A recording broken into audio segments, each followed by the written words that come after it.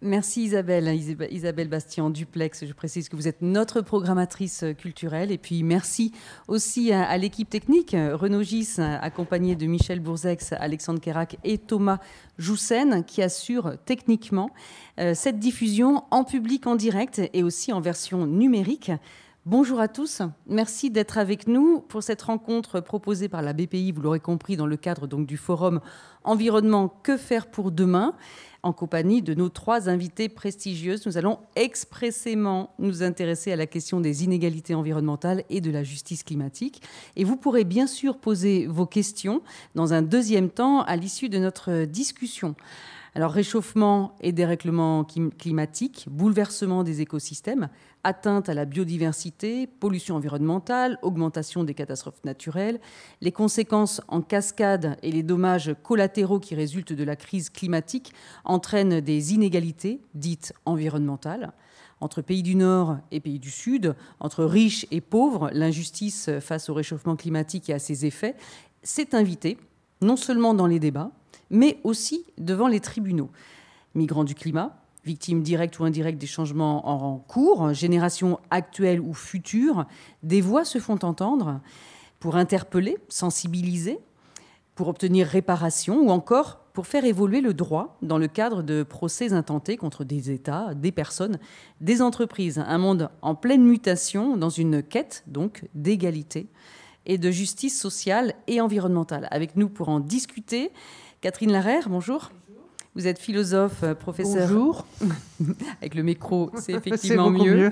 Vous êtes philosophe, professeur émérite à l'université Paris 1 Panthéon-Sorbonne, auteur notamment du livre écrit avec euh, votre mari Raphaël, Le pire n'est pas certain, essai sur l'aveuglement catastrophiste, un livre paru chez Premier Parallèle. Judith Rochefeld, bonjour.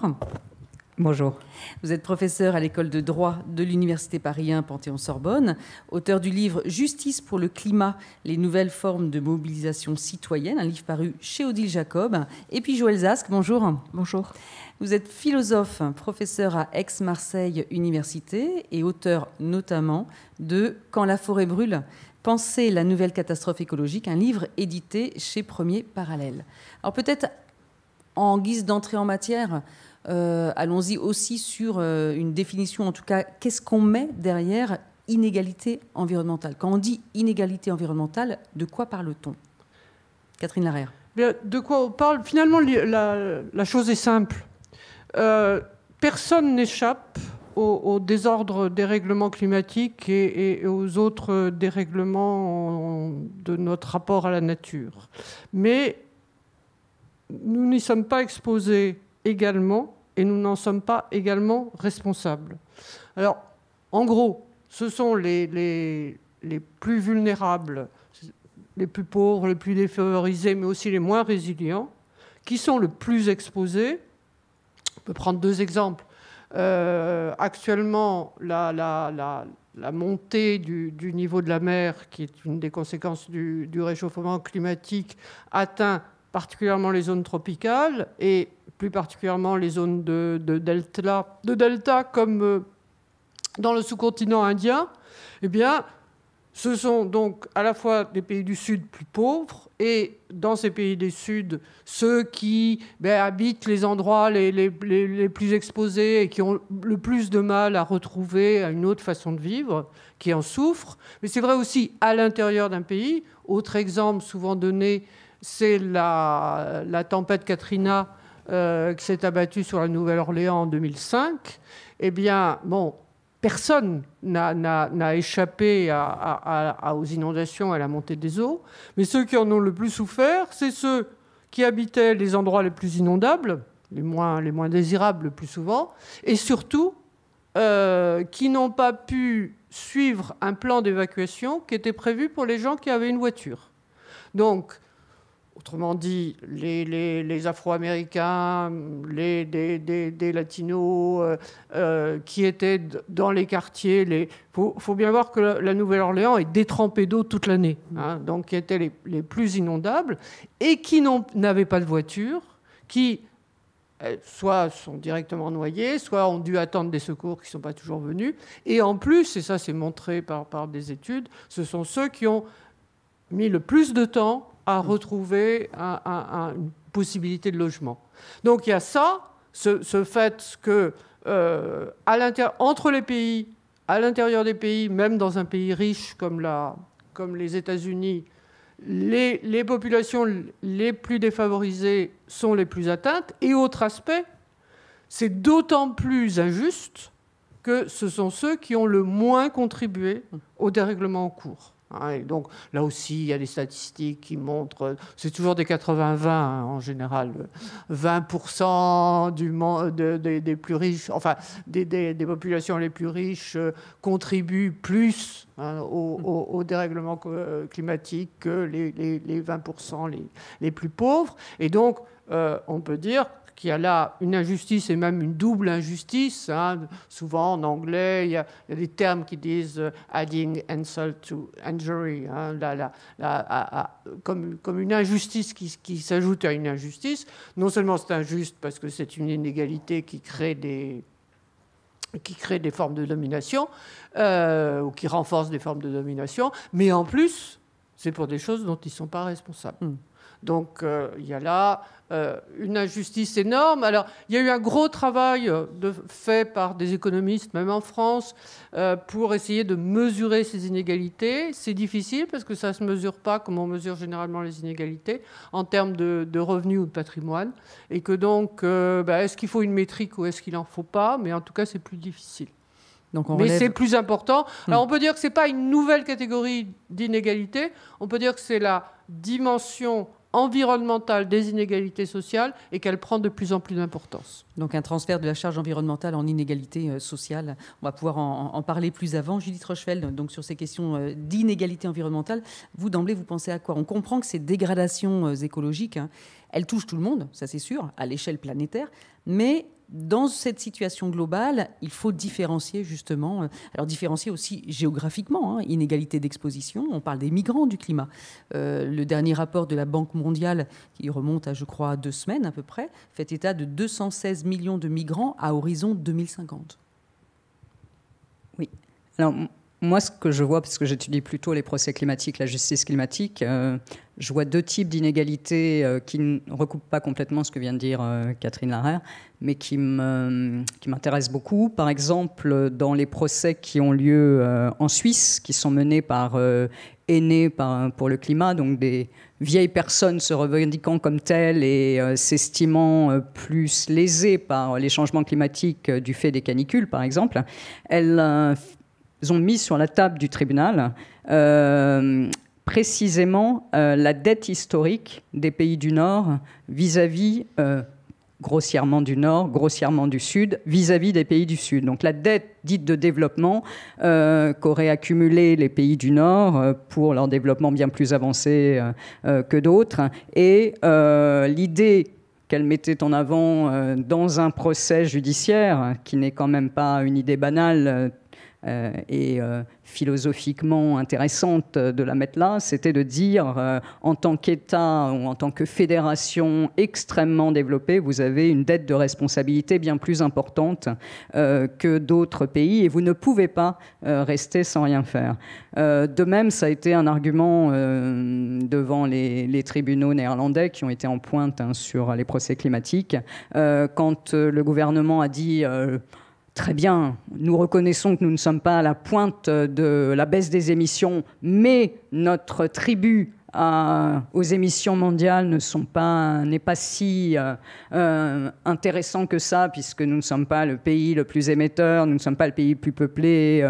Euh, ça leur a été, il leur a été répondu que chacun devait prendre sa part et que en tant que pays développé, il fallait également qu'il en fasse euh, euh, plus. Ça, c'est, je dirais, euh, la le premier type d'argument qui s'invite en justice et qui montre ce décalage mm. nord-sud, euh, si je vais très vite dans la synthèse, hein, mm. euh, qui est euh, un prisme de lecture aussi des, questions climatiques. Et puis, je dirais le, second type d'inégalité qui n'est pas social, mais qui s'invite beaucoup dans, dans, les débats et qui est très très frappant, ce sont les inégalités générationnelles. C'est-à-dire que actuellement, ce qui se passe, déjà, il y a une mobilisation symbolique et judiciaire très très importante des plus jeunes. On a des enfants, là, six enfants portugais qui sont devant la Cour européenne des droits de l'homme. Aux États-Unis, on a une vingtaine d'enfants et de jeunes adultes qui se battent avec une association à Washington Trust. on a beaucoup d'adolescents en Colombie ou dans d'autres pays.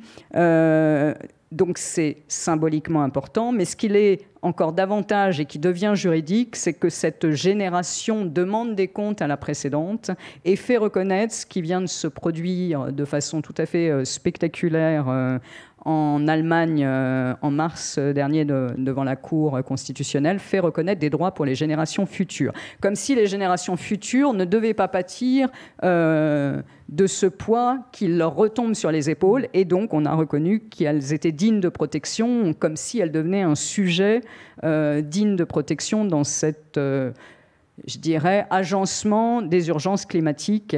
donc, on voit en justice ces deux, je dirais, types de, inégalités, non pas sociales, mais générationnelles et nord-sud, euh, s'inviter dans les débats alors que ça n'est pas du tout leur place jusqu'à maintenant. Catherine Larère, vous vouliez dire quelque chose? Oui, je voulais préciser pour peut-être montrer le, à la fois le, problème et, sa non-reconnaissance. Bon, comme ce que vient de dire euh, Judith, dans, dans, inégalité, justice, il faut, il faut rajouter le terme de responsabilité. Mais il faut bien voir que la responsabilité a deux aspects. Il y a, pourrait dire, une responsabilité rétrospective, une responsabilité historique. Et c'est ce dont il est question quand il est question de dette de, de développement. Et puis, il y a une responsabilité prospective, qui est la responsabilité, la distribution des charges de ce qu'on va faire plus tard. Or, euh, dès les, premiers, enfin, dès... Euh, Dès 92, hein, dès la, Convention cadre des Nations Unies sur le changement climatique, on, adopte un principe qui est le principe des responsabilités communes mais différenciées.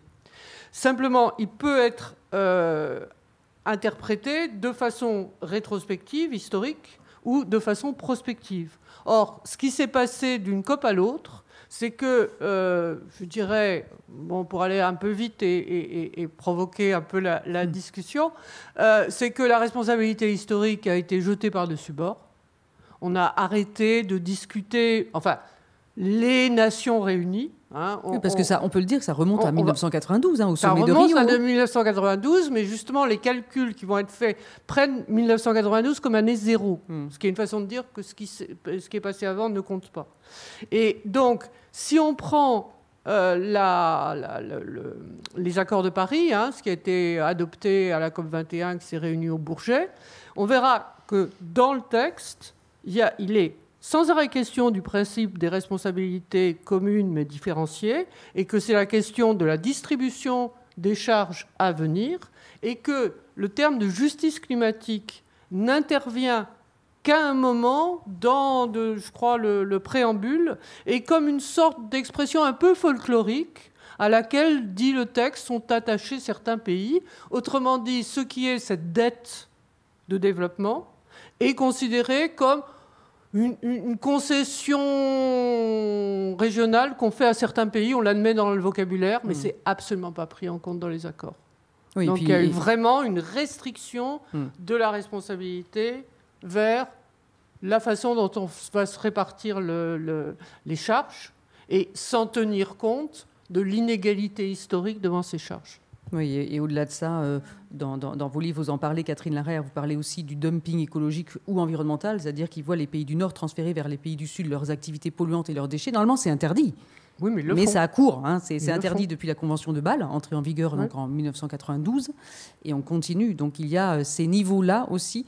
On sent bien que... Euh, L'envie de faire peser sur les plus pauvres une mm. charge supplémentaire dont on se débarrasse est une conduite assez habituel chez les plus riches. Joël Zask, alors, euh, inégalité environnementale. Euh, c'est vrai que, je le disais euh, en préambule, ces, conséquences du réchauffement climatique touchent tout le monde et toute la planète. Mais jusque-là, on voyait bien des zones géographiques plus ou moins impactées. on pouvait penser que les pays dits du Nord étaient préservés. pas forcément. Oui, effectivement, euh, enfin, je souscris complètement à ce qui vient d'être dit, mais euh, j'apporterai euh, peut-être quelques bémols ou en tout cas des nuances. D'une part, par exemple, l'idée de colonisation est une idée qui s'est développée à la fois en ce qui concerne nos villes, en ce qui concerne nos campagnes, en ce qui concerne en particulier le centre des villes jugées incontrôlables, par exemple par Napoléon III et Haussmann, hein, qui colonisent les centres-villes. Euh, également par Napoléon III, si on pense aux Landes. Hein, les Landes ont été colonisées. Alors, ce que je veux dire, c'est que euh, simplement l'opposition nord-sud n'est pas forcément euh, toujours très éclairante parce qu'il y a du nord et du sud à l'échelle de mon quartier, à l'échelle de ma rue, à l'échelle de ma ville. Et aujourd'hui, les inégalités que je constate sous mes yeux sont vraiment peut-être largement aussi criantes que celles qu'on pourrait trouver lorsqu'on polarise nord-sud euh, en mettant des milliers de kilomètres entre nous. Et je trouve ça important justement pour la conscience écologique et la justice climatique de rapatrier aussi les problématiques dans sa maison, en quelque sorte, et sous son nez. Euh, voilà, alors ça c'est déjà une première chose. Et ce, qui, ce qui aussi euh, m'a beaucoup frappé quand j'ai étudié les méga-feux, c'est que les pays du Nord, justement, comme vous le disiez, euh, sont plus touchés, enfin, en tout cas, au moins aussi touchés que les pays du Sud, voire plus. C'est-à-dire qu'en fait, euh, ce qu'on appelle un méga-feu, euh, c'est un feu incontrôlable, c'est un feu qui est, on le sait maintenant, lié au dérèglement climatique, mais c'est aussi un feu qui est lié à la destruction des cultures du feu, c'est-à-dire des peuples hein, qui pratiquaient des feux d'entretien dans les forêts, etc., etc. Alors je vais très vite. Mais euh, du coup, euh, par exemple, les pays euh, du nord de la Méditerranée ont tendance à plus brûler que ceux du sud. Pourquoi? Parce que la déprise rurale, parce que la disparition de l'élevage, parce que la destruction culturelle, par exemple, des Landais hein, ou des Méditerranéens, donc a, disons, rendu la forêt beaucoup plus vulnérable dans la mesure où elle est privée des soins auxquels elle est habituée depuis des dizaines de milliers d'années.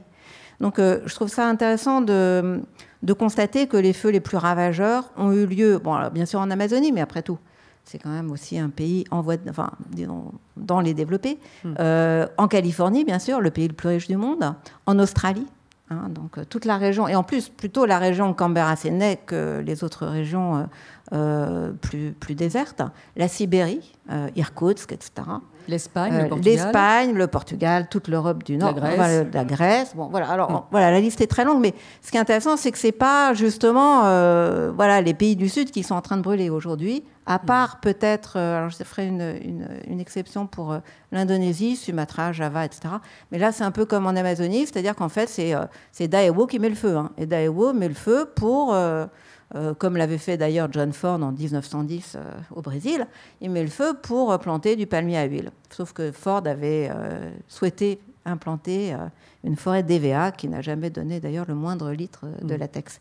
Donc voilà, c'est, tout ça, ça, ça, permet de relativiser aussi dans la mesure où, comme ça a été dit tout à l'heure, finalement, je dirais quelque chose qui a à voir avec la conscience écologique tend à se mettre en place dans la mesure on se sent aussi euh, concerné euh, à la première personne. Et, euh, aussi, du coup, le concernement peut provoquer une forme de responsabilité par rapport à son environnement.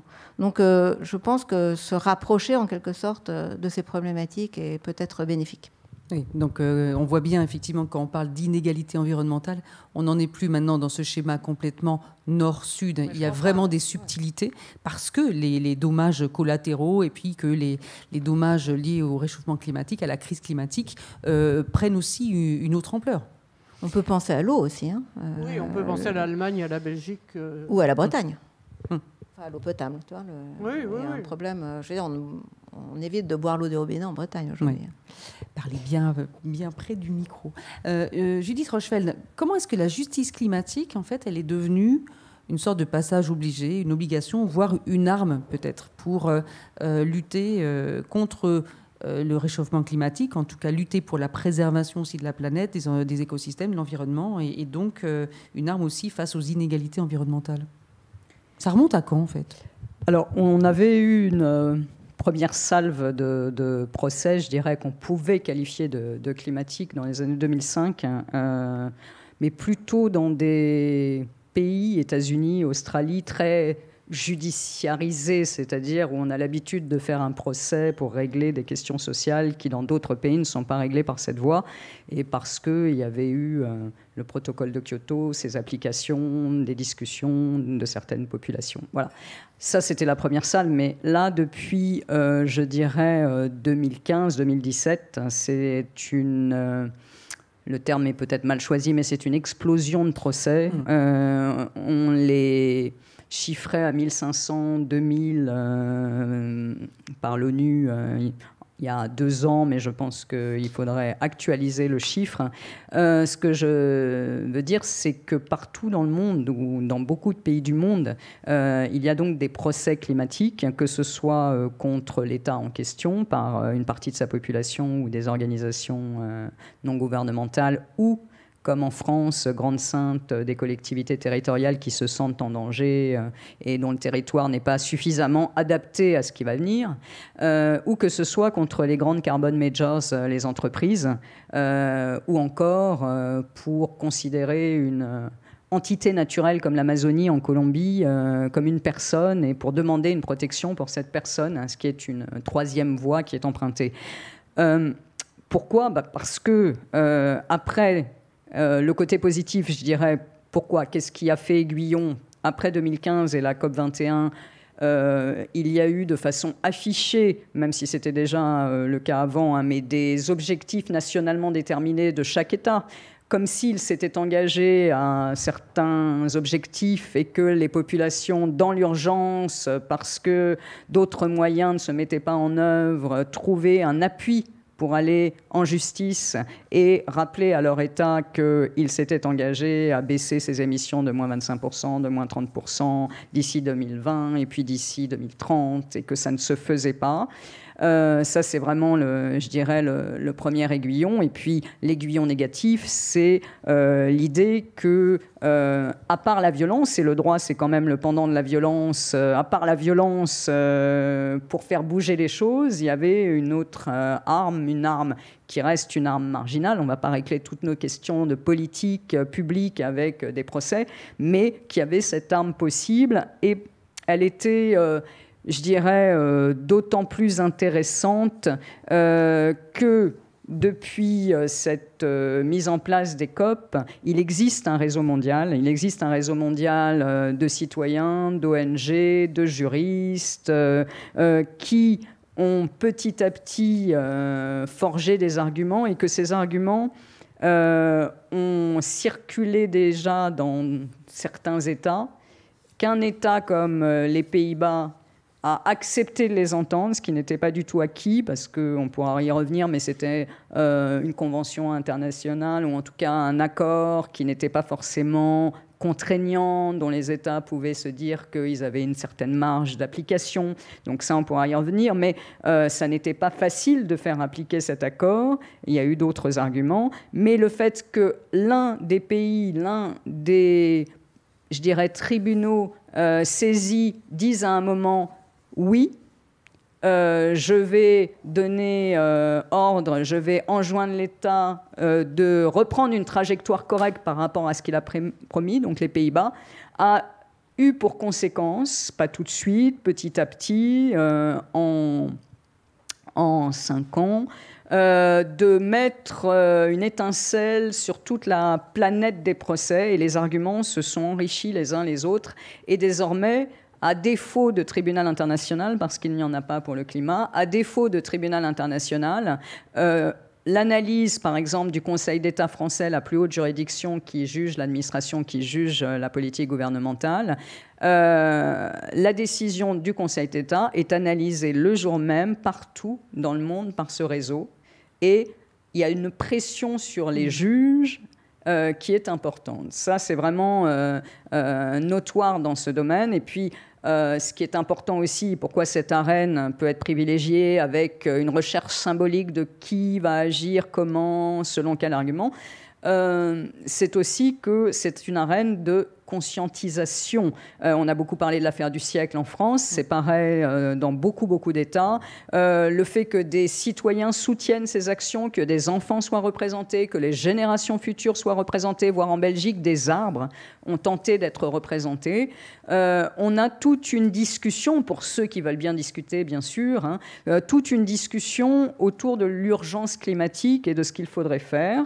Ça n'est pas forcément la meilleure arène, on peut tout à fait l'entendre, on peut tout à fait en débattre, mais il n'en reste pas moins que dans un premier temps, c'était plutôt une arène de conscientisation. Et puis, quand les choses ont basculé, pour nous, par exemple, en novembre 2020, euh, avec euh, une décision du Conseil d'État, et puis début 2021 pour la commune de Grande-Sainte qui se plaignait de ne pas être protégée et qui a été en, partie entendue, eh bien, c'est devenu une arène vraiment d'action, de demande de compte sur la politique publique et la trajectoire de chacun des États par rapport à ce qu'il avait promis. Parce que j'entends beaucoup, et je, terminerai là-dessus, on mmh. entend beaucoup beaucoup le fait que ça n'est pas légitime, que les ONG n'ont rien à dire, que les citoyens n'ont rien à dire, que très bien, il y a des objectifs, mais que l'État est tout à fait euh, euh, élu démocratiquement, ça c'est un argument évidemment que tout le monde entend, euh, est le maître de sa politique gouvernementale. Ce qui est quand même très intéressant, c'est que il a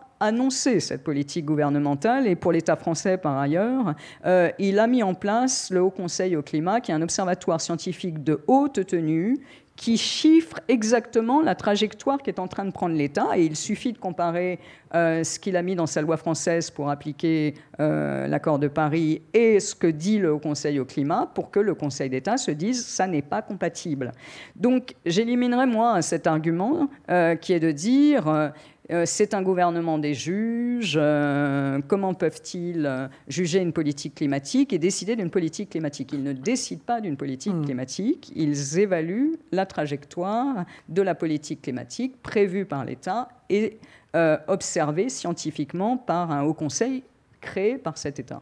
Donc d'une arène de conscientisation on est passé à une arène avec euh, des décisions effectives, en tout cas des condamnations.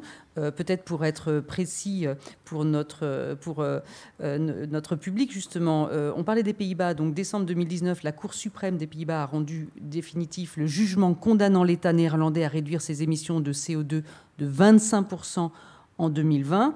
Euh, on pourrait parler d'Irlande aussi, hein, d'ailleurs, qui a invalidé en juillet 2020 le plan climat du gouvernement.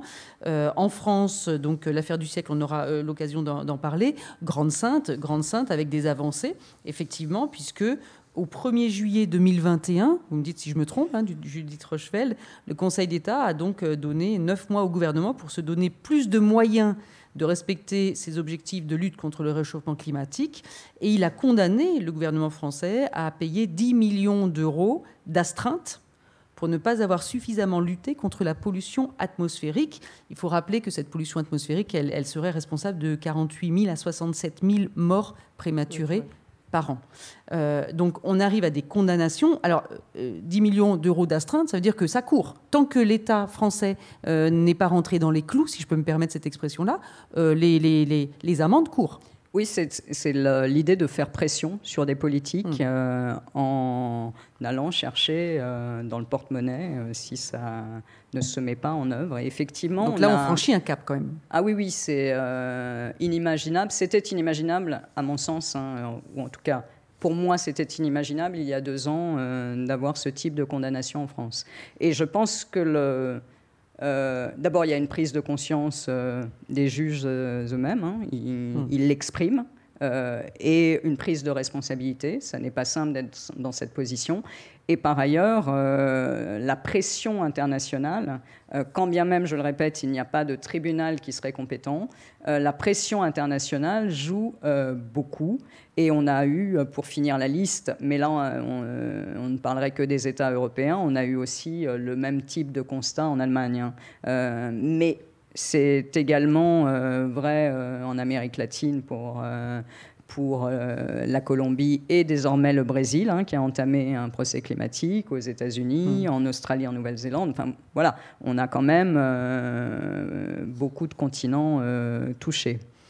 Catherine Larère, on a franchi un pas. Hein. C'est vrai que euh, dans certains de vos livres, vous parlez par exemple des années 80 en mentionnant les États-Unis et en expliquant qu'il y avait déjà des procès aux États-Unis, donc pionniers par rapport à ces, façons de justement de partir en justice, mais c'était des procès parce que, par exemple, l'habitation de ou les habitations de certains citoyens étaient sur des zones polluées, etc.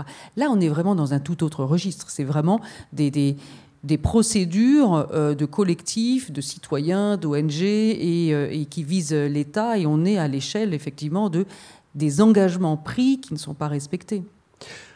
Oui, on a changé d'échelle. Je pense que ce qu'il y a de, commun, euh, il y a deux choses qui restent et qui sont importantes. Il y a le problème de l'accès à la justice. Et ça, ça c'est important parce que ben, c'est pas toujours possible. Et du point de vue de, la, justice euh, sur le climat ou de la justice climatique, de ce point de vue-là, le, changement de, règlements euh, internationaux dont qui s'est effectué quand on est passé euh, des accords de Kyoto en 1997 qui fixait euh, euh, enfin, une couverture euh, qu'on ne pouvait pas dépasser globalement tel niveau d'émission, et puis qui laissait ensuite au marché, aux États de le régler, ne donnait aucun accès facile aux sociétés civiles. Alors que la procédure bon, qu'on n'arrive pas à adopter en 2009, mais qui va être adoptée en 2015, qui est celle ben, dont parlaient euh, les, intervenants de la table ronde précédente, qui est euh, des engagements nationaux, que ce soit qu'il y ait des engagements nationaux permet justement d'intervenir pour dire ces engagements n'ont pas été tenus. Donc de ce point de vue-là, ça, donne un accès à la justice qui est important. La, deuxième chose qui me paraît importante, c'est que justice, injustice, on peut aborder la, question de deux façons. On peut avoir en, tête ce qu'est un ordre juste et définir l'injustice par l'écart à cet ordre juste. Et puis, il y a, et c'est quelqu'un comme Paul Ricoeur le disait, euh, et ça a été repris souvent, euh, en fait, l'injustice est première le sentiment d'injustice est premier. Et je crois que. Et c'est à, partir de ce sentiment d'injustice qu'on essaie de voir quelle pourrait être la justice qui répondrait.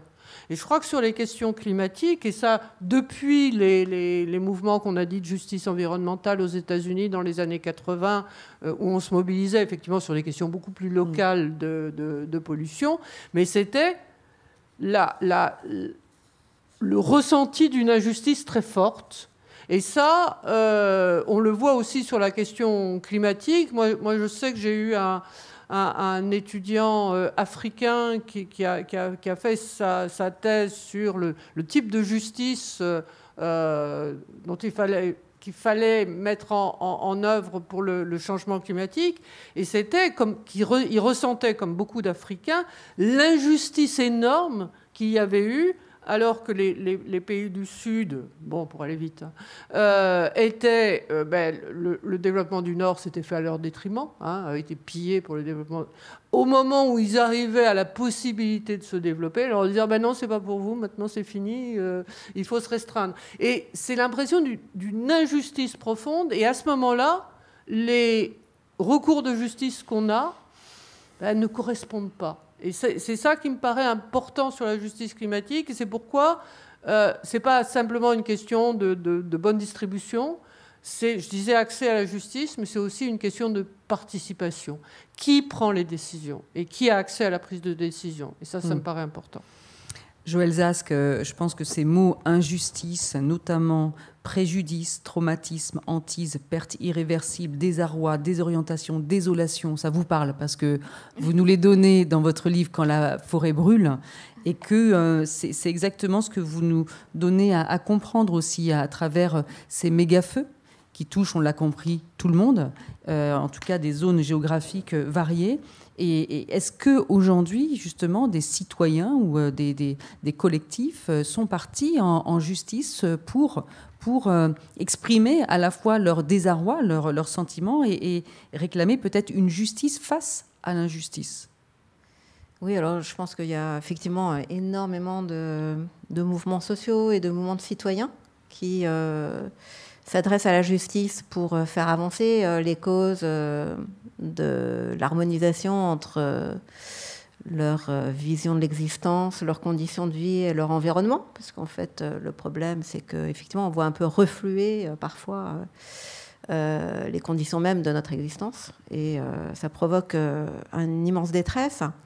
je dirais que c'est peut-être un des dispositifs aujourd'hui, peut-être les plus prégnants et assez virulents des formes démocratiques de participation, je dirais, des citoyens à la chose publique. Et il me semble que, ça a été dit dans la table ronde précédente, qu'effectivement, le, disons, le système de la redevabilité de l'État, de sa nécessité du gouvernement de rendre des comptes aux citoyens et de tenir, en tout cas en partie, les promesses euh, qu'il a faites euh, dans son programme électoral, est précisément en cause aujourd'hui. Alors le problème, en général, si vous voulez, le, disons, les citoyens euh, arrivent assez aisément à déceler les mensonges de l'État. Enfin, on peut parler de mensonges, hein, comme à Rennes, je crois qu'il y a vraiment un mensonge qui est très très brutal, non seulement à l'échelle euh, des pays autoritaires, mais même à l'échelle des pays démocratiques. Il y a un, un, mensonge environnemental qui est très fort dans la mesure où euh, je dirais la transparence sur l'action du gouvernement n'est pas toujours au rendez-vous et dans la mesure où, encore une fois, les promesses euh, sont des demi-promesses qui ne sont pas euh, tenues. Et les engagements, du coup, filent un peu dans, les coulisses.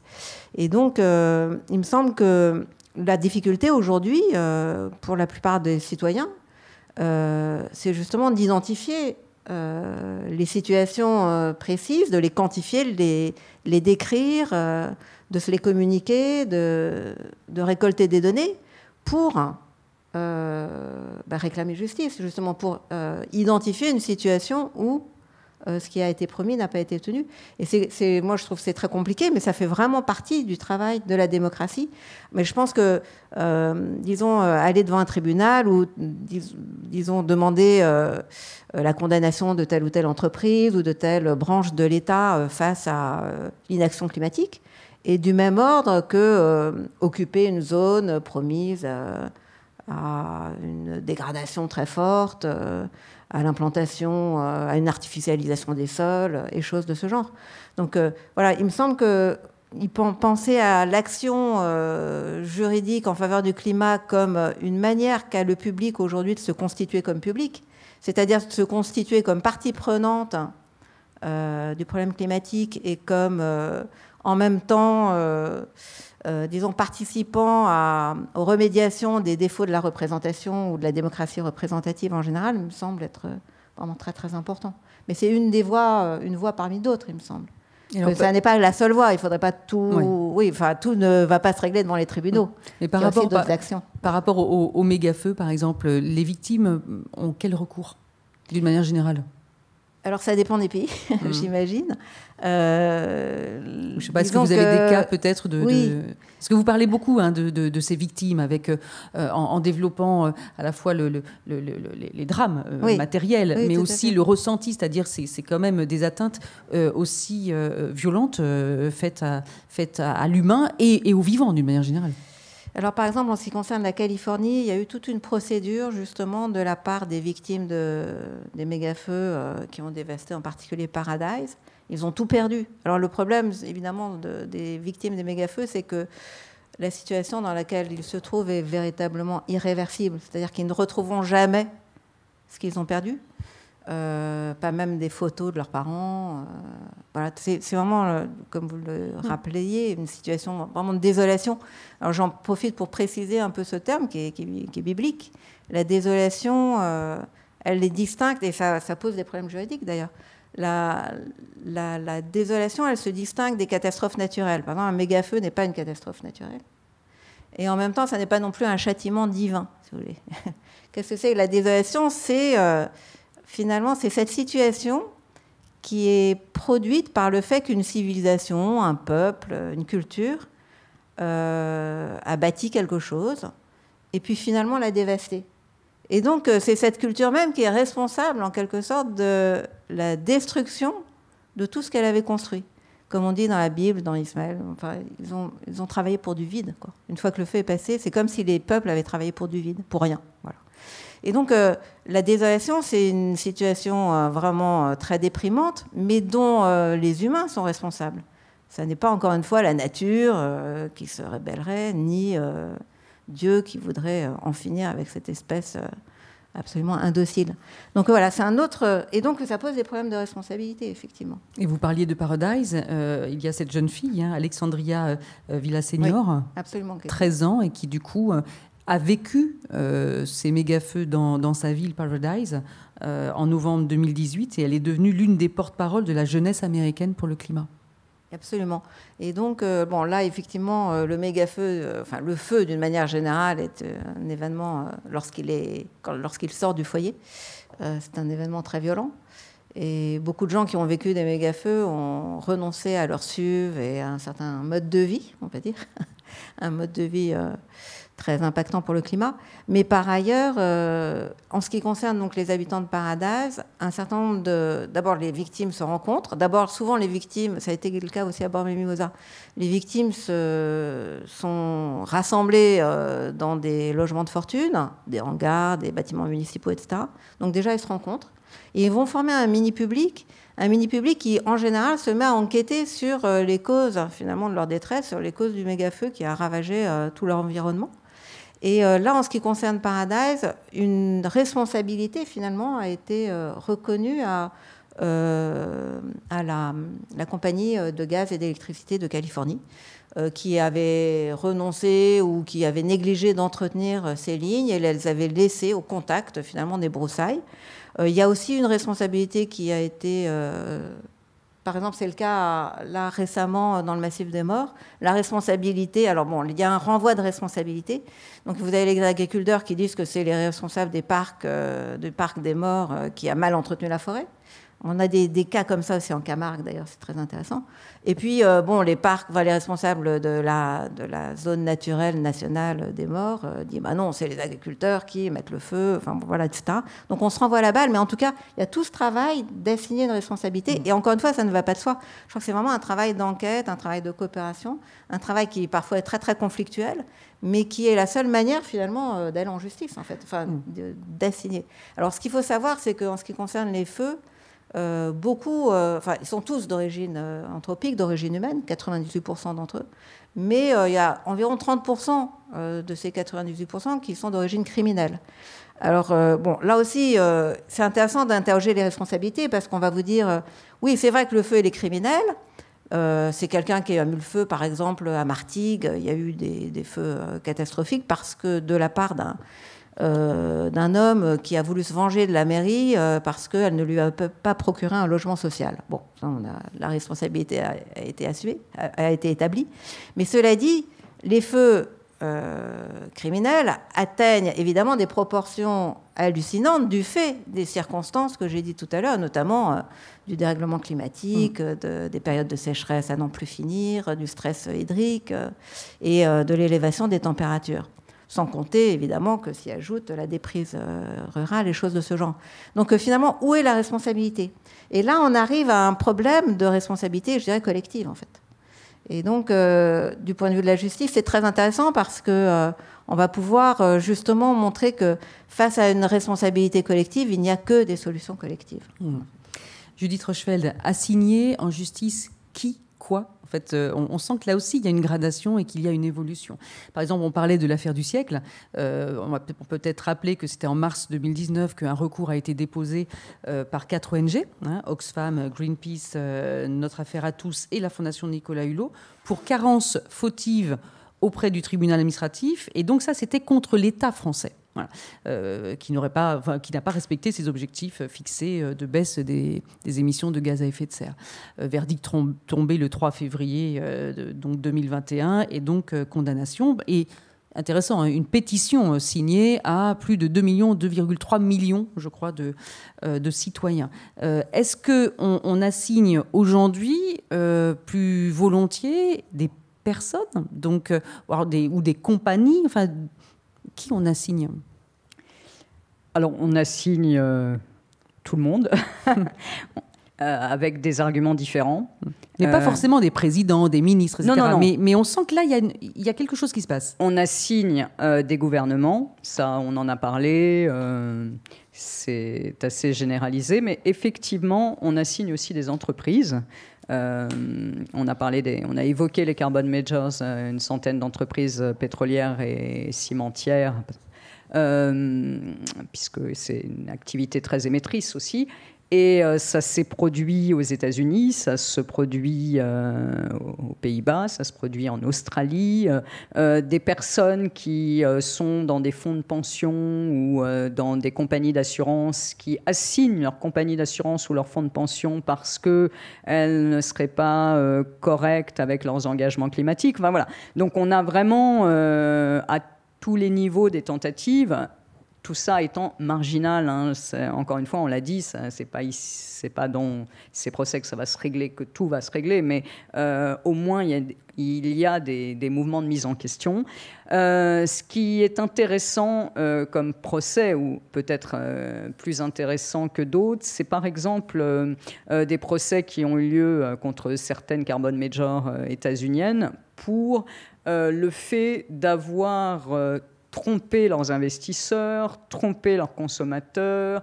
Et euh, Shell aux Pays-Bas est attaqué par des citoyens sur les mêmes arguments que l'attaque qui a eu lieu contre le gouvernement, c'est-à-dire en carence motive, effectivement, dans une politique climatique qu'elle aurait dû endosser aussi. Donc on met là, je dirais qu'on est euh, dans un parallèle qui est fait entre la grande carbon majors euh, nationale et euh, le gouvernement, elle aurait dû aussi avoir une carence motive. Sous-jacent, il y a une critique, euh, parce que sinon ce ne serait pas possible. Alors déjà, il y a, euh, possible, quelque chose qui rend possible, vous l'avez évoqué tout à l'heure, je pense que c'est très très important d'y revenir, c'est que avant, il n'y avait pas de rapport d'experts et de scientifiques qui chiffraient très précisément les émissions euh, de gaz à effet de serre, euh, entreprise par entreprise, période historique par période historique. Ça, c'est une possibilité maintenant de se fonder euh, pour les personnes qui agissent sur des données scientifiques. Alors on peut en discuter, hein, des données, elles, elles, peuvent être utilisées dans tous les sens, remises en cause, c'est l'un des éléments du débat. Euh, mais il est déterminant. Donc, euh, Shell, euh, dans, dans, ce parallèle, il y a un sous-jacent très important de la part de ceux qui agissent, qui est de dire que c'est aussi une des carbon majors qui aurait organisé une vérité alternative sur les conséquences des politiques industrielles que l'on suivait. Et si je peux conseiller un livre à ce débat, un très beau livre, qui, le titre est beau, euh, malheureusement euh, dramatique, Perdre la Terre, de euh, Natalie Rich, qui est un, journaliste du Washington Post qui a fait toute une enquête pour démontrer comment on avait installé une vérité alternative depuis les années 70, 1970. Et, et cette idée est dans les procès. C'est-à-dire, la carence, ça viendrait aussi du fait d'avoir énoncé des données qui n'étaient pas en relation avec une réalité qui est désormais euh, démontrée, d'avoir fait perdre du temps euh, aux investisseurs, aux consommateurs. Euh, voilà. Donc tout ça n'est pas encore réglé et, ça n'est pas tranché dans toutes ces, questions. la tromperie a été écartée. voilà. Mais je dirais que ces grandes entreprises, non seulement en interne, elles peuvent être questionnées sur les politiques qu'elles suivent, mais également euh, par des citoyens dans un parallèle, c'est ça qui me frappe, avec les États. Vous voulez ajouter non, je, je, voulais dire que le livre que Judith avait cité était quand même très critiqué et pas uniquement par ses ah. ennemis. Hein. L'idée qu'on a laissé passer une fenêtre d'opportunité, ce qui est quand même. Non, non oui, c'était pas sur ce. C'était pas là-dessus. Parce que, bon, il y a tout un problème de savoir comment agir, quand agir, et, et, et que ce n'est pas quelque chose qui passait comme la, la, la, queue du Mickey sur le mm. au manège et qu'on n'a pas tiré au bon moment. Quoi. C'est mm. un peu plus compliqué que ça. Mais en tout cas, c'est vrai que c'est un livre qui est euh, souvent euh, mentionné, hein, Perdre la Terre. Oui, non, sur l'enquête. Euh, exactement. Euh, alors, on voit bien partir en procédure, euh, partir en justice pour obtenir une justice climatique, c'est aussi potentiellement pouvoir faire évoluer les lois, le droit. Et, dans ces évolutions-là, on voit bien qu'il y a aussi des, actions pour donner des droits à la nature, faire advenir le concept de bien commun autre mouvement hein, de, né du réchauffement climatique. Euh, est-ce que c'est une, voilà, une solution juridique, Catherine Larrea? Alors, l'idée de donner des droits à la nature est, ancienne, puisqu'elle remonte aux, années 70, qui est le moment où toutes les nouvelles idées apparaissent. Mm. Hein. Et c'est l'article d'un juriste, euh, Christopher Stone, euh, qui dit les arbres devraient pouvoir plaider. Il devrait pouvoir aller en justice. Et euh, depuis, ça a fait euh, beaucoup de progrès, hein, et un peu dans la montée en, en, échelle et en gravité euh, que, vous soulignez tout à l'heure. C'est-à-dire que on est passé bon, de, de, de, revendications ponctuelles et essentiellement sur des questions de responsabilité civile à, euh, à, des questions de responsabilité pénale, hein, puisqu'on on est à, parler du crime d'écocide comme un, crime comparable au, crime contre l'humanité, et que d'autre part, un, certain nombre de décisions ont été prises. Hein. on, a beaucoup, on, a beaucoup parlé de, du fleuve Wanganui en, Nouvelle-Zélande, qui, est donc, a été reconnu comme un, comme un sujet de droit. Puis on a parlé de la Colombie. Enfin, il y a tout un il y a tout un mouvement euh, pour, les, pour les droits de la nature. Et la semaine dernière, j'étais euh, à, des journées de travail où il y avait une juriste, euh, Marine Calmet, qui, qui, est, qui est une avocate, qui, qui s'occupe d'une d'une association qui s'appelle Wild Eagle le, enfin le droit sauvage, le droit pour le sauvage, et qui donc travaille sur cette, euh, cette euh, représentation, la possibilité que euh, des entités naturelles, alors ça peut être des organismes, ça peut être des ensembles comme un, mm. comme un fleuve, hein, qui est disons un, un ensemble d'écosystèmes, soient reconnus comme des sujets de droit. Il y a, il y a tout un débat là-dessus. Alors je crois que c'est un peu différent de la question des communs euh, qui est là euh, ne, revient pas forcément sur... Ce que remettent en question les, droits donnés aux entités naturelles, c'est la, sacro-sainte euh, séparation entre les personnes et les choses, hein, puisqu'on essaie de faire monter des, entités qui étaient considérées comme des choses et qu'on les fait passer dans, du côté des, des, sujets de droit. Alors que les communs, c'est une remise au message, Judith en parlerait beaucoup mieux que moi, donc je vais dire, très peu de choses.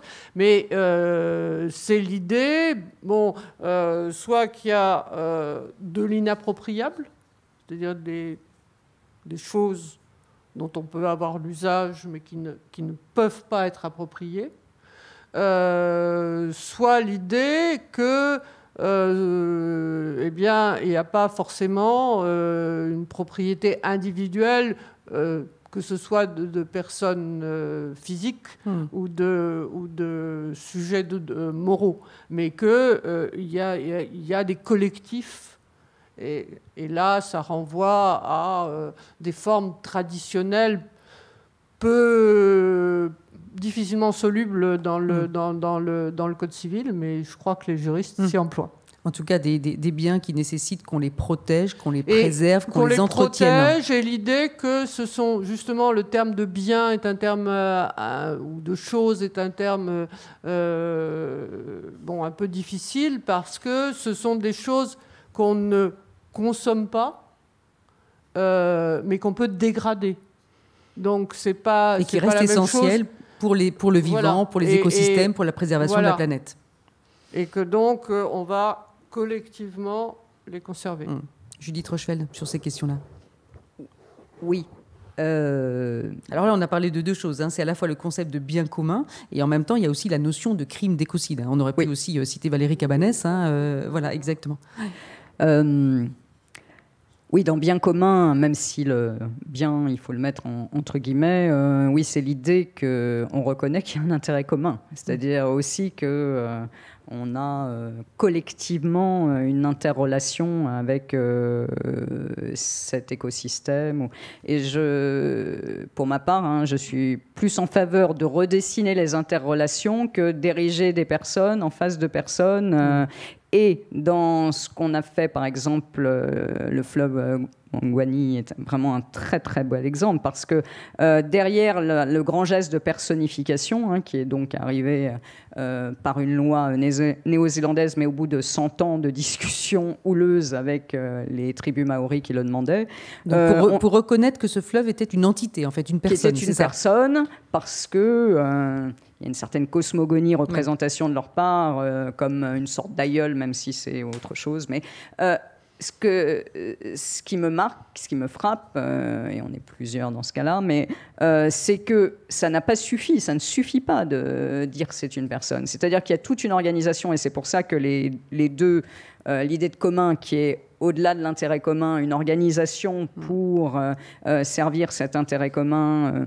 Euh, il y a toute une organisation qui a été mise en place. C'est comme un gouvernement de ce fleuve qui a été mis en place une parité pour les chefs, euh, l'un de la tribu maori, l'autre du gouvernement zélandais, un comité du bien-être du fleuve, un comité des parties prenantes, ce qui rejoint ce que disait Catherine, c'est-à-dire on organise les usages, on organise la relation que l'on a à cette entité.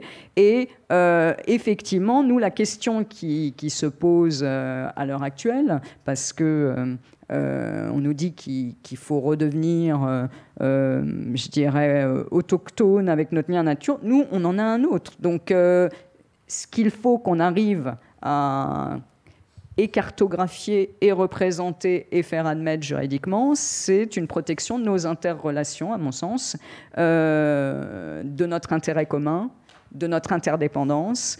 Euh, ça ne passe pas forcément par euh, des droits de la nature, mais mmh. peut-être des droits de nos interrelations euh, et d'organisation qui fassent qu'on représente cette mmh. interrelation. Voilà, c'est plutôt ma position. Mais ça va chercher effectivement dans la représentation de, des biens communs, des communs si on s'organise, autour d'entités, euh, autour de bassins de vie, autour euh, euh, d'écosystèmes, oui. On voit bien que la, question est pluridisciplinaire, parce qu'on pourrait mentionner aussi l'économiste Éloi Laurent, hein, qui travaille aussi sur ces questions de biens communs, avec une autre façon, comme vous le disiez, Judith Rochefeld, de, penser la façon de, de, préserver, de protéger, mais pas forcément en, donnant des, identités ou, juridiques ou autres.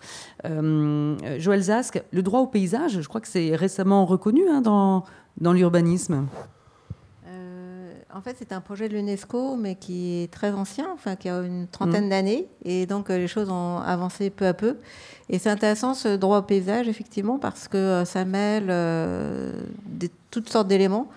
Et je crois que c'est précisément le caractère trans ou pluridisciplinaire et pluriactivité, plurifonctionnel de toutes ces affaires-là qui disons, au débat actuel euh, sa, richesse et sa pertinence. Euh, en l'occurrence, le droit au paysage, c'est un droit qui est à la fois euh, un droit d'usage, ou plus exactement un droit d'usage à mettre vraiment au pluriel. C'est un droit esthétique, c'est un droit à la jouissance esthétique, c'est un droit à, à bénéficier aussi de cette relation forgée par les générations passées c'est-à-dire euh, qui a été transmis un peu comme l'histoire de la vigne. Et, enfin, du, laboureur de la vigne et de ses enfants. Enfin, c'est-à-dire que le paysage est aussi, euh, enfin, et comment dire, euh, dans, l'existence personnelle ou dans l'existence d'un groupe local, porteur finalement de toute une histoire partageable. Et le paysage est précisément la marque partage des générations euh, successives. Donc, euh, et justement, les gens euh, qui perdent leur paysage dans les méga-feux perdent aussi le rapport avec un passé qu'ils ne pourront plus transmettre à leur, à leur tour. C'est-à-dire qu'ils ne pourront plus dire tiens, je vais t'amener là où ton grand-père, etc. Donc ça, c'est très très problématique. Et puis c'est aussi un droit du futur, c'est-à-dire un droit justement de, transmission, un droit, disons, à, à bénéficier ici et maintenant de conditions euh, d'ancrage de ces activités ou de marquage en quelque sorte individuel par une contribution singulière euh, de l'histoire à venir en fait mm. et de la communauté future. Donc c'est très douloureux ça aussi.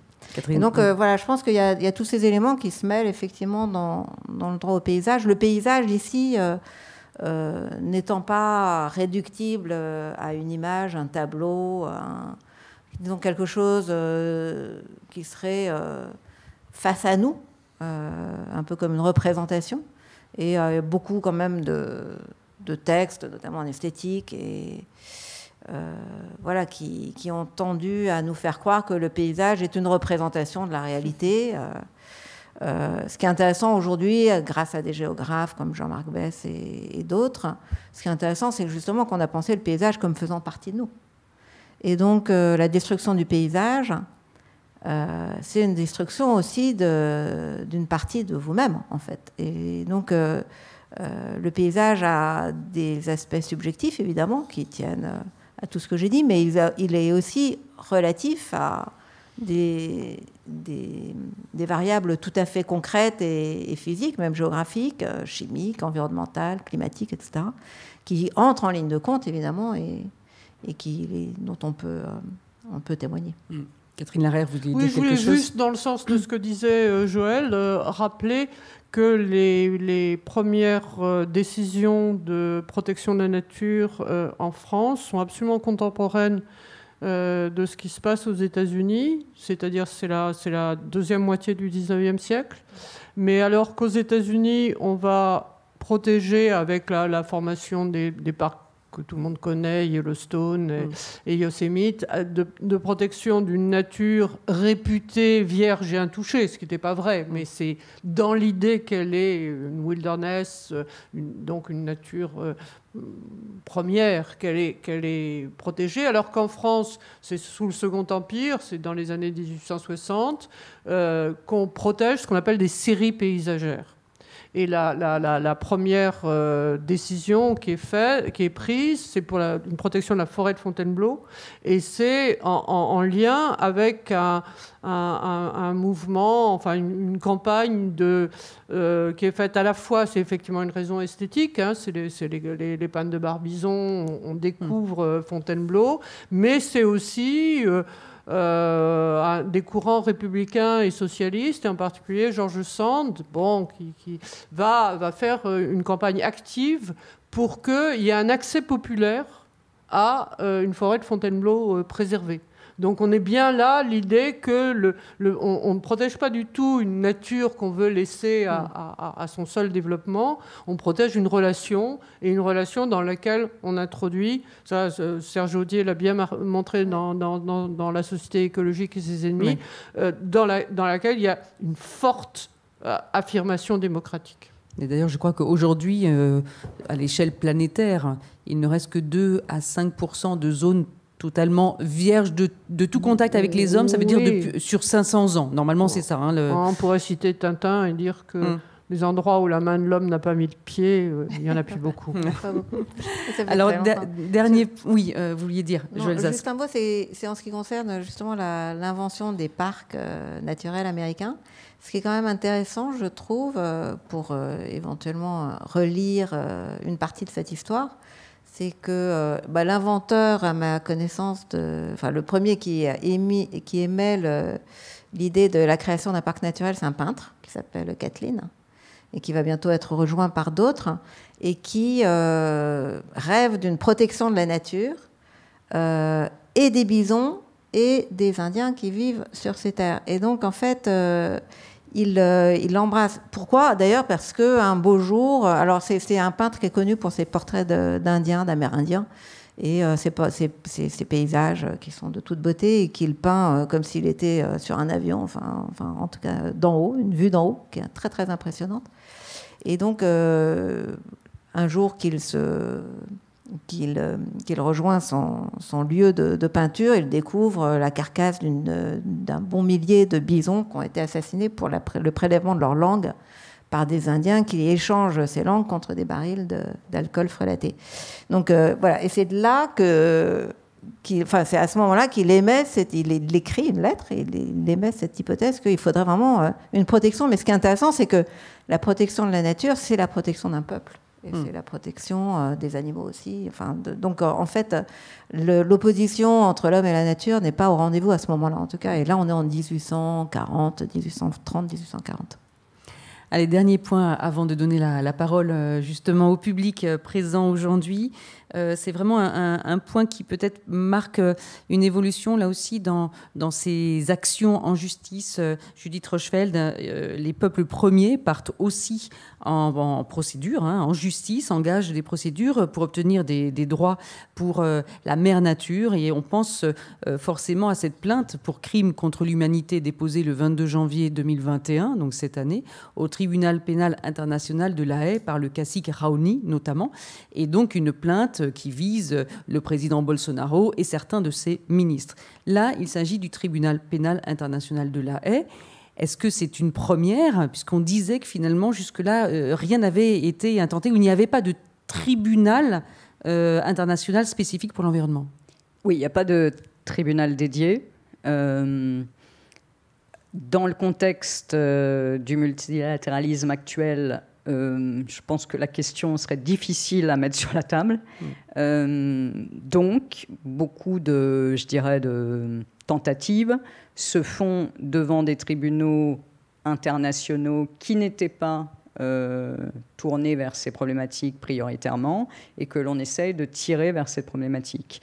Euh, on a évoqué les réfugiés climatiques. Hein. je ne voudrais pas qu'on pense qu'il n'y a pas d'action, par exemple, pour les réfugiés climatiques. Mm. C'est aussi une catégorie de victimes qui a été reconnue internationalement et euh, ben, qui va l'être de plus en plus. Donc il y a cette idée euh, qu'on fait rentrer dans la notion de réfugié qui n'était pas taillé pour, euh, le réfugié, la réfugié climatique. Donc voilà, on essaye de tirer, c'est aussi pareil devant la, Cour pénale internationale, avec l'idée que euh, des crimes contre l'humanité ou des crimes de guerre pourraient impliquer l'écosystème du groupe en question que l'on cherche à éradiquer. Mmh. ça a été fait sur le culturel. On a tiré euh, de l'attaque à ces groupes ou de l'attaque à une population le fait qu'on avait aussi voulu détruire leur culture. On va tirer vers. On a aussi voulu détruire leur euh, écosystème. Euh, donc, de toutes parts, euh, sur des cours internationales européennes ou régionales interaméricaines, par exemple, il y a aussi la Cour interaméricaine des droits de l'homme ou la Cour européenne des droits de l'homme qui sont extrêmement sollicitées sur ces questions. Et on va tirer du droit au respect de la vie privée, par exemple, ou du droit à la vie devant la Cour européenne des droits de l'homme. Les six enfants portugais dont je parlais vont mmh. tirer un contentieux vers les questions climatiques, alors que c'était des droits qui n'étaient pas euh, des droits environnementaux. Alors c'est vrai qu'on essaye de plus en plus de faire reconnaître les droits environnementaux jusqu'au droit à vivre dans un climat stable, hein, qui est un mm. droit qui est en train d'être travaillé euh, devant pas mal de tribunaux. Donc tout ça pour dire qu'effectivement, euh, on tire des crimes, même des crimes de guerre ou des crimes très extraordinaires, très exceptionnels en gravité, on essaye de le tirer vers l'environnemental.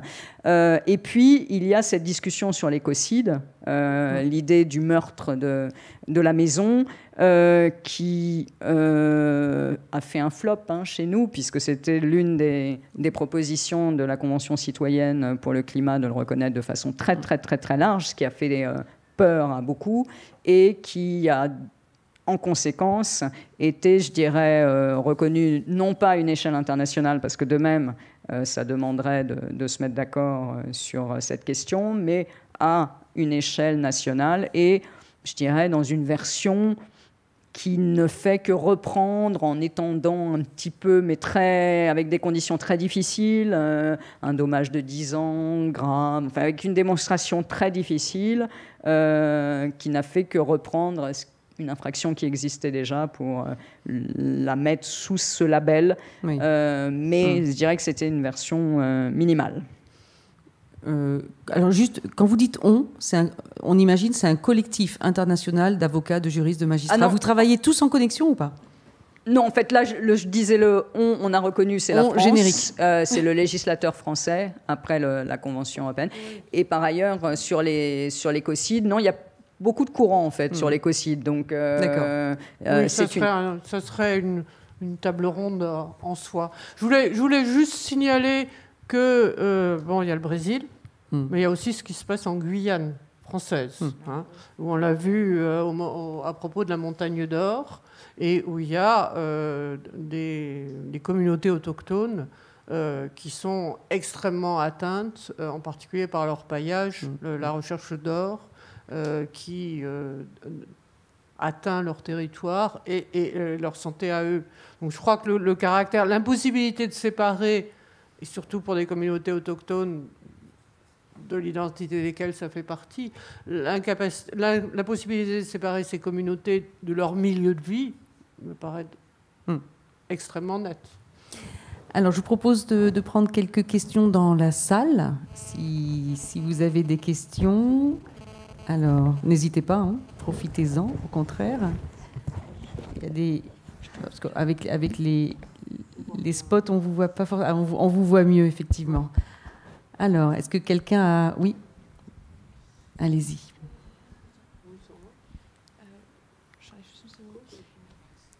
Bonjour. Ça marche. Euh, j'ai une question sur euh, un petit peu euh, en amont en fait de ces procès-là. quand on travaille pour une entreprise et que justement on se dit bon, on est dans une entreprise plutôt sur des choses assez polluantes qui peuvent être attaquées justement, et qu'on est en train de changer de modèle. Comment est-ce qu'on, quand on change de modèle et qu'on, par exemple, on pourrait se diriger vers euh, des biocarburants, on fait face au fait que la prochaine étape, c'est que les biocarburants ont aussi un impact euh, néfaste sur l'environnement, sur la culture de soja, mais qui n'impacte pas les Français. Les Français veulent voir du biocarburant pour, parce que parce que ça va permettre d'aller vers une transition euh, énergétique, mais euh, ça a un impact sur d'autres pays.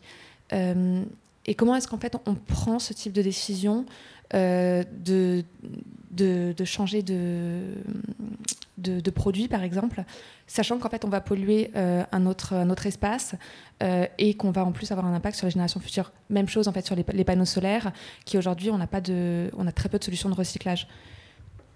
Donc voilà, en fait, c'est une interrogation euh, très, euh, enfin, très, très sur les entreprises. Qu'est-ce qu'il faut prendre comme décision pour euh, arrêter de polluer sans polluer pour les générations futures et en fait éviter de se retrouver en justice aussi Merci beaucoup.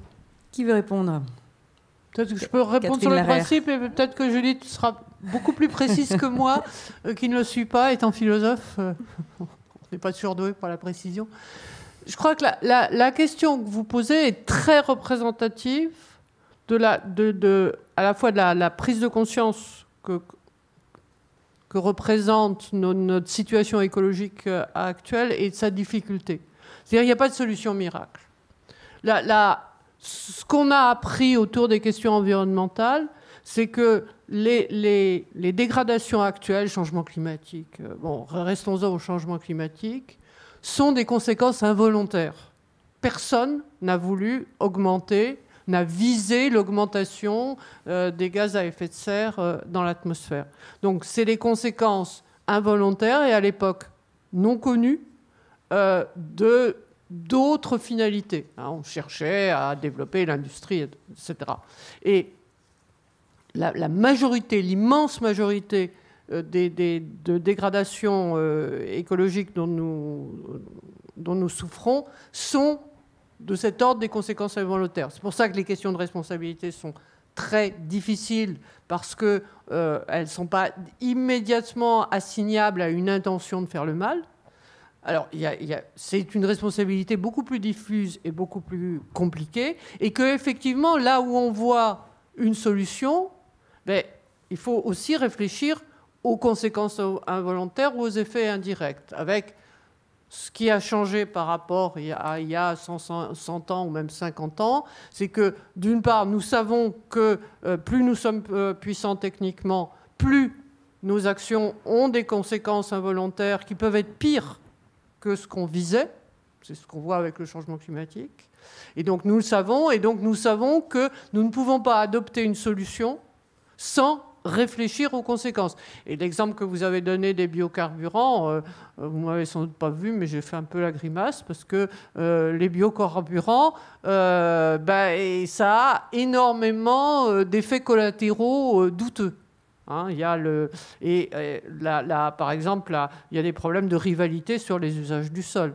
Euh, on sait que, bon, on dit toujours la Chine, mais d'autres pays euh, achètent de grandes surfaces de terre pour y planter des, biocarburants au détriment de la de la l'alimentation pour la population alimentaire. il y a quantité de choses comme ça. Donc je crois que moi personnellement, je vous dirais, il n'y a, a, pas de réponse, il n'y a aucune réponse évidente. Il y a toujours à réfléchir sur ce qu'on vise, mais aussi ce qu'on risque de faire en, en, alors je dirais pas en conséquence involontaire parce que euh, ça me paraît difficile de dire que c'est complètement involontaire, mais je dirais en, en effet collatéraux. Judith Rochefeld, est-ce que euh, on est à l'aube peut-être de voir des procédures contre justement euh, des entreprises qui, qui, produisent du biocarburant, contre les énergies renouvelables, etc. Oui, ça c'est possible, et notamment si elle se réclame euh, d'un comportement écologique vertueux et que ça n'est pas le cas, alors qu'elles euh, en ont la connaissance, par mmh. exemple. Donc ça, on peut, on, a des exemples. Euh, alors, pour revenir à cette question, elle, elle pose. alors, il y a la, vous m'avez dit l'amont, l'amont. L'amont, l'amont, c'est que certains jeunes diplômés, jeunes, ont une défiance par rapport à certaines entreprises que ça s'est tacté. Et je dirais quand même que les études sociologiques euh, montrent que c'est ceux qui ont le choix de travailler pour une entreprise ou une autre qui euh, font des arbitrages. Tout le monde ne peut pas le faire. Donc ça, c'est l'amont-l'amont. Après, sur euh, peut-être le point, si j'ai bien compris votre question, de être un employé d'une entreprise, ne pas être d'accord avec son comportement, c'est ça que je comprenais. C'est que là, il y a à travailler, c'est le, euh, le, cas actuellement hein, sur l'alerte, l'alerte environnementale, qui n'était pas une tradition ni syndicale, euh, ni de l'alerte salariale. Voilà. Je ne sais pas si ça répond à votre question, mais euh, oui, oui, oui. Ah, Mais salariés avec euh, euh, des comités qui fonctionneraient, euh, notamment ceux. La loi qui protège les, lanceurs d'alerte, c'est ce que vous disiez, Catherine, parce que vous n'aviez pas le micro devant la bouche. Oui, oui, oui, non, mais c'est parce que je. Et le dernier point pour répondre à votre question, après, je, vous me direz si c'était le, le, sens de votre question. Le dernier point, c'est que dans les très grandes entreprises qui ont leur siège social en France, 5000 salariés, 10 000 à l'étranger, euh, ils ont, elles ont désormais à endosser un devoir de vigilance, un devoir de vigilance et un plan de vigilance annuel où elles énoncent, elles cartographient euh, les risques de leur euh, activité et doivent mettre en face, c'est encore très mal appliqué, mais doivent mettre en face les mesures de vigilance raisonnable qui pourraient venir juguler ces risques. Et dans cette dans ce montage du devoir de vigilance, qui est une première. Hein. La France a été euh, tout à fait euh, un pays précurseur sur cette question. C'est en train d'être discuté dans la dernière version en Europe. Ça a essaimé en Europe. Et dans cette version, si on allait jusqu'au bout du système, il y aurait des procédures d'alerte. Voilà. Euh, donc on aurait avec cette cartographie, encore une fois, tout est conditionnel parce que ça date de 2017 et que ça n'est pas encore euh, euh, totalement effectif. Euh, on aurait des procédures d'alerte, on aurait du suivi de la, cartographie des risques et des mesures de vigilance raisonnables. je synthétise, mais je ne sais pas si j'ai répondu à votre question. Et ça ne concerne que des entreprises de taille importante avec un siège social en France, mais peut-être en Europe bientôt euh, Oui, vous avez partiellement répondu à la question, mais c'était plus, dans le processus de décision. Euh, quand, euh, quand en fait l'entreprise a déjà conscience qu'il faut changer quelque chose et qu'elle prend qu'elle va prendre certains chemins et prendre certaines décisions sur certains nouveaux produits, sur des développements. en fait, et je pense que vous avez répondu, c'est qu'il faut bien cartographier les, conséquences involontaires Comment l'accompagner en fait C'est ça. Ce que vous dites, c'est bah, comment, comment l'accompagner peut-être pour qu'elle évite, d'être en porte-à-faux et potentiellement euh, en euh, subir une, procédure en justice euh, si elle n'a pas pensé à tous les dommages collatéraux. C'est ça? Uh-huh. En porte-à-faux et comment aussi ne pas céder à l'immobilisme en voyant le fait de créer un autre problème en, en pensant en résoudre un. je crois qu'il faut se dire qu'il n'y a pas de solution. Il y a, des il y a pas de solution parfaite. Il y a des arbitrages. Hein. Si, on, si, on, regarde, alors on va parler des biocarburants, mais si, si on regarde les éoliennes, moi j'entendais la semaine dernière Jean Jouzel dire je suis à fond pour les éoliennes. Moi je, demande qu'on fasse une enquête euh, sur les éoliennes parce qu'il n'y a, a, rien qui aille dessous. Donc il y a des arbitrages à faire mmh. et, et, et c'est des questions de justice, mais c'est aussi des questions politiques finalement. Peut-être que juste pour euh, les entreprises, on peut mentionner que des entreprises qui voudraient être accompagnées peuvent l'être aujourd'hui par l'ADEME, par exemple. Il y a quand même des organismes qui aujourd'hui aident à, prendre la mesure, voilà, à faire une cartographie. D'autres questions?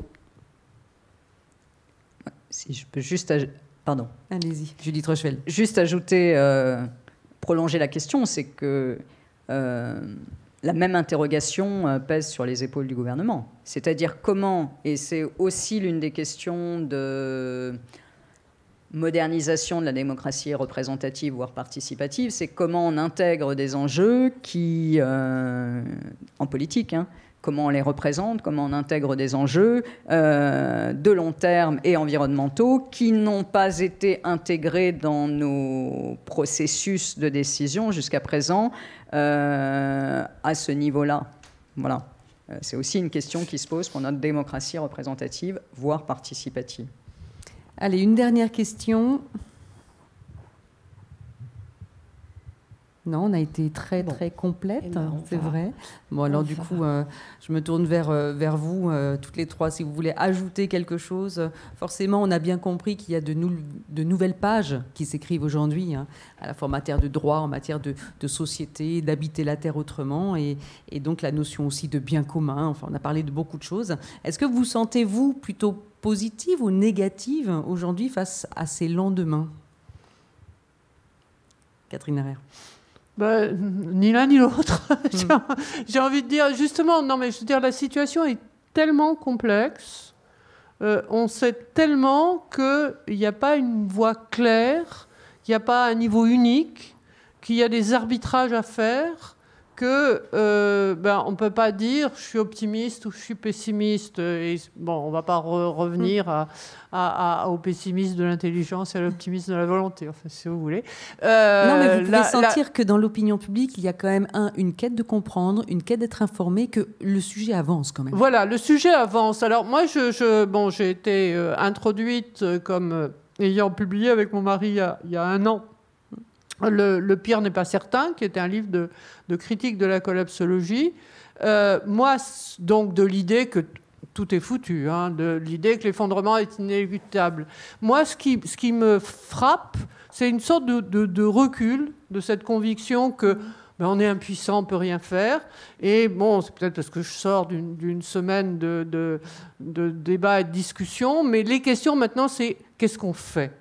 C'est pas euh, qu'est-ce qu'on peut croire, mais c'est qu'est-ce qu'on fait. Et ça, bah, ça me fait plaisir. Et ça commence à bouger, on le voit quand même. Hein, et ça commence à bouger. La, et la question, bon, la question a toujours été posée. Hein, qu'est-ce qu'on fait mais, mais, mais c'est pas sous, sous condition de désespoir. Mmh, quoi. Mmh. Il, y a, y a une ouverture. Donc vous êtes positive. Voilà. Oui, quand même. Allez, Joël Zask.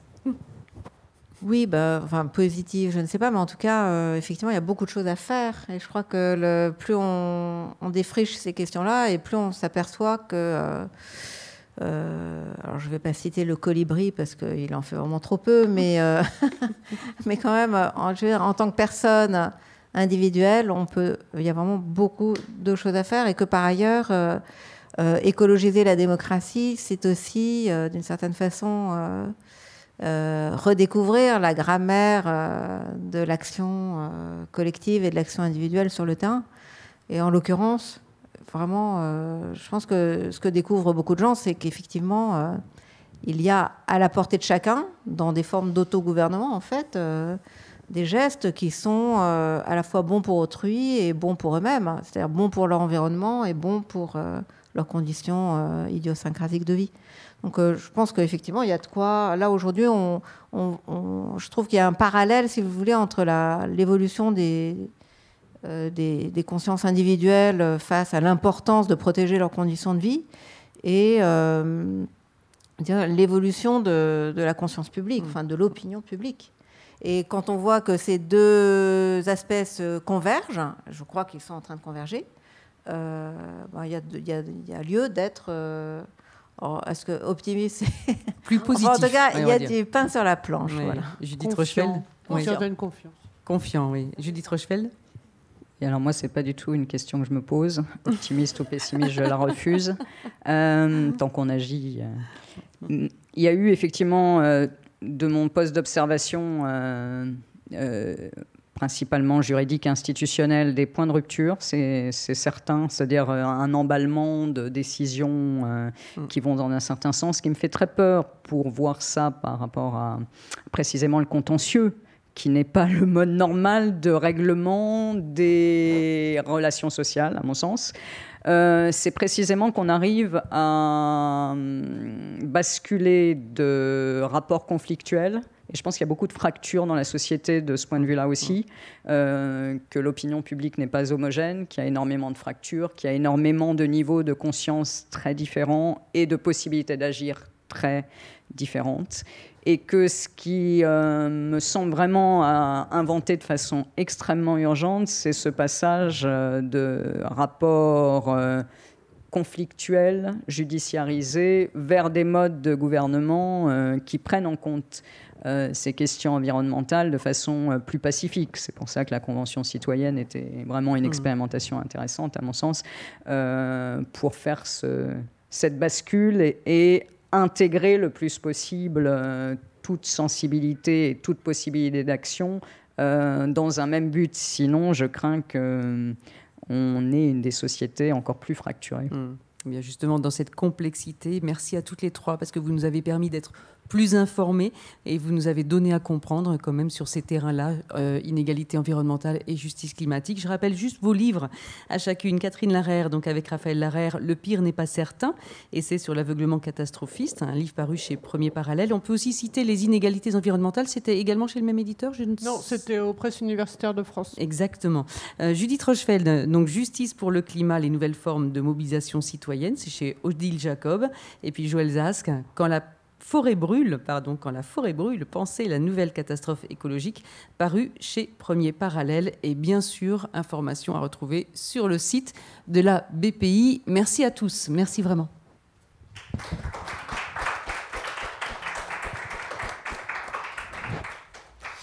Merci beaucoup pour euh, cette, euh, ce, débat, ces éclairages euh, très stimulants en tout cas.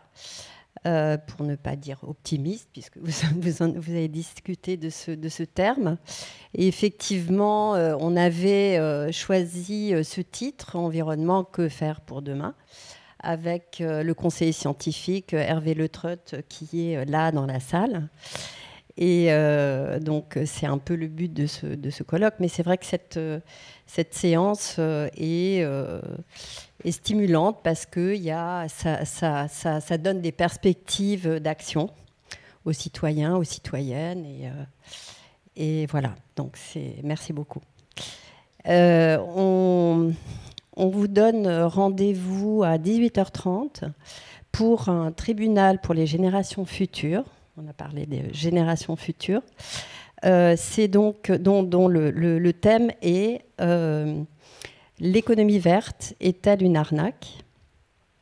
Et euh, donc c'est en fait une, sorte de conférence, des débats autour de cette question, mais dans une mise en scène euh, extrêmement euh, intéressante. On reste dans l'univers de la justice, puisque c'est un procès avec une cour, président, avocate, procureur, des témoins. Et vous aurez même la possibilité de faire partie du jury qui va délibérer et qui va euh, donner donc son, mettre son verdict euh, l'économie verte est-elle une arnaque Donc euh, rendez-vous à 18h30. Merci.